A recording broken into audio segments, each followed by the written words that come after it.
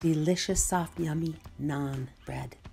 Start with a half cup of warm water and two tablespoons of sugar, one and a half teaspoons of yeast, and then three fourths cup of warm milk.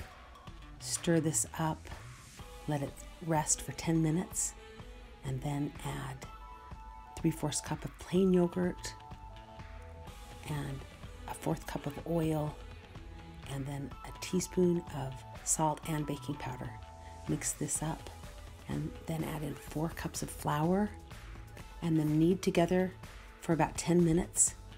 Put in a bowl and cover and rise for one hour till it's doubled in size and then divide it into either 8 or 16 pieces.